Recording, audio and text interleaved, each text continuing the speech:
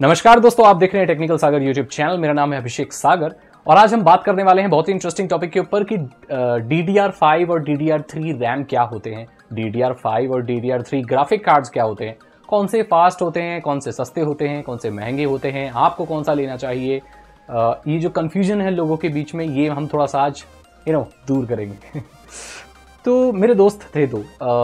एक के पास था डी डी आर फाइव का 512 एमबी का ग्राफिक कार्ड एक के पास था DDR3 का, दो जीबी का ग्राफिक कार्ड ठीक है? लेकिन जो दो जीबी वाला ग्राफिक कार्ड था जिसके पास DDR3 वाला, उसके उसमें कंप्यूटर में लैग करता था गेम अटकता था। वही गेम 512 एमबी वाले ग्राफिक कार्ड में स्मूथली चलता था। ऐसा क्यों? तो लोग, आप जब भी आप ग्राफिक कार्ड खरीदने जाओगे तो आपसे वो पूछेगा दुकानदार DDR3 दिखाऊँ DDR2 दिखाऊँ DDR5 दिखाऊँ? DDR4 नहीं बोलेगा, क्योंकि DDR4 आया ही नहीं। ये टेक्नोलॉजी इतनी फास्ट जा रही है कि भैया, ये तो बीच के जो हैं, उन्हें छोड़ ही देते हैं। एक और फैक्ट आपको बताता हूँ इंटरेस्टिंग नोकिया का कोई भी फ़ोन फोर नंबर से शुरू नहीं होता। खुद रिसर्च कर ले। तो कभी कभी ऐसा होता है कि एक नंबर ये लोग छलांग मार देते हैं। खैर तो क्यों होता है ऐसा? D D R five fast क्यों है? और जबकि उसकी मेमोरी कम है डी डी आर फाइव सिर्फ़ 512 एमबी का है, लेकिन वो फास्ट है। DDR3 दो जीबी का है ग्राफिक कार्ड लेकिन फिर भी वो स्लो है। ऐसा क्यों? अब जिन लोगों को ये भी नहीं पता, देखो, हर तरह के लोग देखने वाले मेरे चैनल पर सबको मेरे को साथ लेके चलना है। ठीक है तो प्लीज़ आप मुझे माफ़ कर देना, लेकिन मुझे ये चीज़ बतानी है। ग्राफिक कार्ड एक प्रोसेसिंग यूनिट होती है। कार्ड नहीं होता है वो। एक मशीन एक प्लेट्स जैसी होती है, उसमें बहुत सारे कंपोनेंट लगे होते हैं। फ़ैन होता है उसमें। वो एक अलग प्रोसेसिंग यूनिट होती है। आपको पता है कंप्यूटर को सोचने के लिए एक प्रोसेसर की ज़रूरत पड़ती है।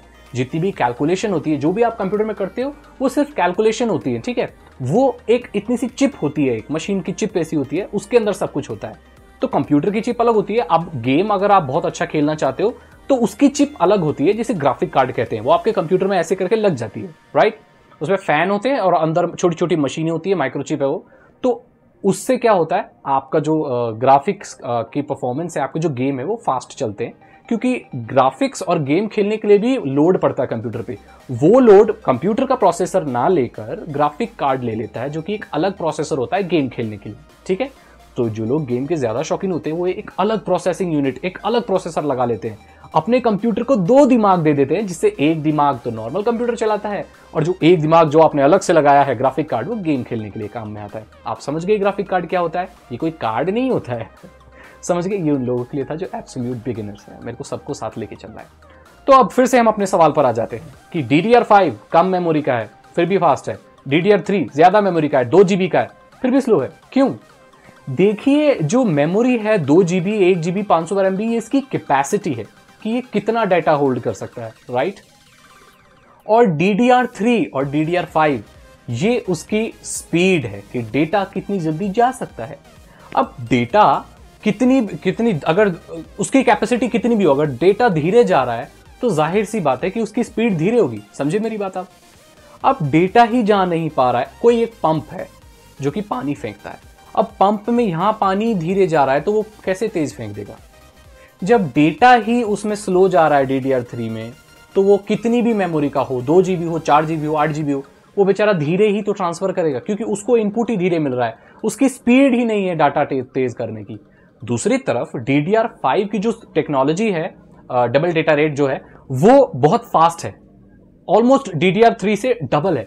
तो यहाँ अगर कम डेटा भी आ रहा है, लेकिन वो फास्ट आ रहा है।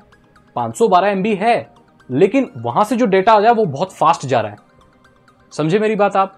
वो एक ऐसा पाइप है जिसके थ्रू पानी, वो पतला पाइप है जिसके थ्रू पानी बहुत फास्ट जा रहा है। पतला और मोटा जो पाइप है उसको हम मेमोरी साइज़ लेके चलते हैं।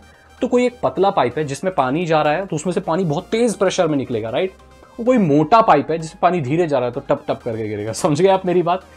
तो ये फ़र्क नहीं पड़ता कि आपकी कितनी कैपेसिटी है। ये फ़र्क पड़ता है कि आप डेटा को कितना फास्ट ट्रांसफ़र कर सकते हैं।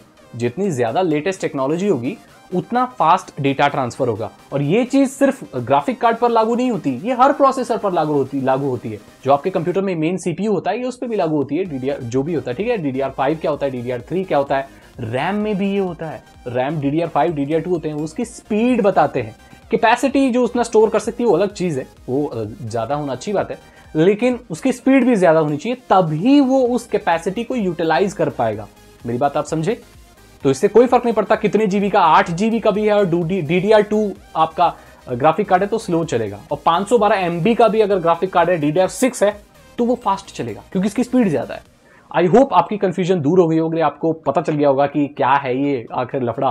कभी आप कोई ग्राफिक कार्ड या रैम खरीदने जाएँगे तो अब आप उससे टैकल कर सकते हैं उससे बोल सकते हैं कि मुझे सिर्फ़ डी डी आर फाइव ही दिखाना चाहे एक जीबी का ही हो कोई फ़र्क नहीं पड़ता।